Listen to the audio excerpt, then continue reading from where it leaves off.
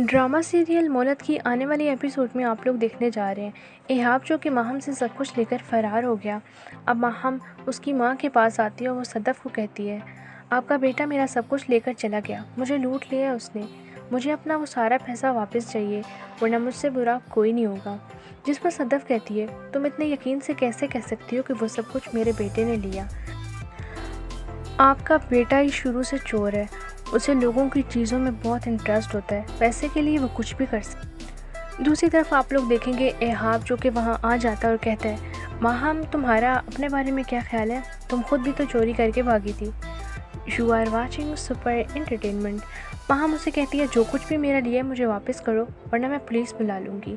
एहाब कहता है, पुलिस बुलाने के तुम काबिल नहीं हो, क्योंकि अगर तुमने पुलिस बुलाई ना तो मैं उन्हें कहूँगा कि इससे पूछें कि ये पैसा इसके पास कहाँ से आया। फंसोगी तो तुम भी दोनों सूरतों में। अब सोच लो करना क्या है, पैसे तो तुम्हें वापस देने वाला नहीं। माँ, हम घर आकर खूब रोती है। सलमान उसे कहते हैं, ज़रूर, फिर कोई गलती करके आई हो ना। जिस पर माहम कहती है, गलती नहीं, इस पर बहुत बड़ा गुनाह हो गया है मुझसे। सलमान कहता है, ऐसा क्या कर दिया तुमने? जिस पर माहम कहती है, अपने सोतेले भाई को सगा भाई समझकर उस पर भरोसा कर लिया। अपनी सारी जमा पूंजी उसे दे दी और वो सब कुछ ले उड़ा। अब वो मुझे वापस नहीं कर रहा सलमान, मैं क्या करूँ? जिस पर सलमान कहता है, ओह, स्ट्रेंजर। यानी कि मेरे डर से तुमने वो सब कुछ अपने उस सोतेले भाई को दे दिया। इतनी गिरी हुई हरकत तुम कैसे कर सकती हो, माहम?